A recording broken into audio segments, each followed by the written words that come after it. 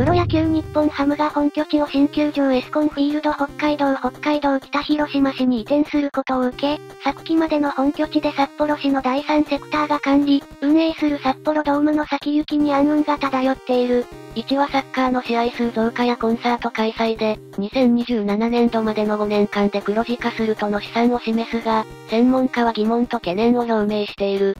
23年度以降は収入の約3割を担っていたプロ野球の試合がなくなるが、市はサッカー J リーグの北海道コンサドーレ札幌の試合数を増やすほか、2万人程度のコンサートを開催できるようにすることで埋め合わせは可能と見ている。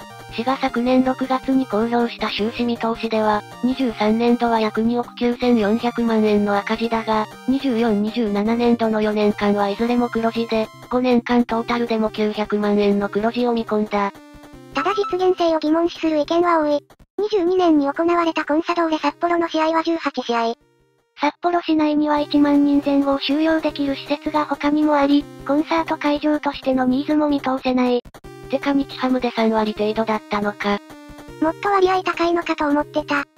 定番の誤解やな。ハムが直接払っていたのが3割で、間接的なものはそこには入っていない。札幌市の丼予想ですらハムがいなくなって札幌ドームの売り上げは6割減る。広告収入も激減らしいな。多分5年持たない。当たり前だけど日ハムがいなくなった札幌ドームに広告はつかないしてなんとも撤収してるしコンサドーレのグッズ売り場さえ撤退した。3割は試合収入。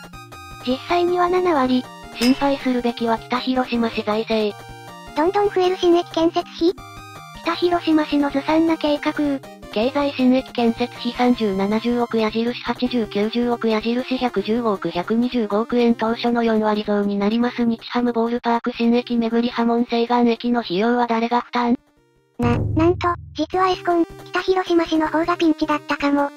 ということで、果たして札幌市、北広島市、どちらがこれから財政状況良くなるのでしょうか。ぜひぜひコメントを寄せくださいね。ご視聴ありがとうございました。